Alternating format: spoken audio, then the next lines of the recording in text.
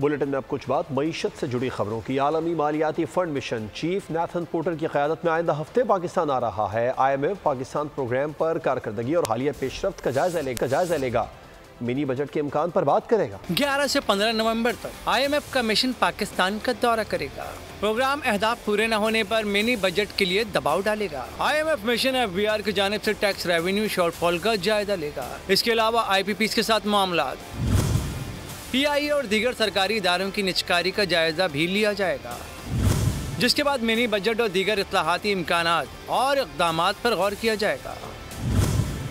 जराये के मुताबिक ये मामूल का जायजा मिशन नहीं होगा। इस दौरे में तोसी फंड सहूलत प्रोग्राम के पहले जायजे पर बातचीत नहीं होगी। मौजूदा प्रोग्राम का पहला जायजा 2025 की पहली सहमाही में ही होगा।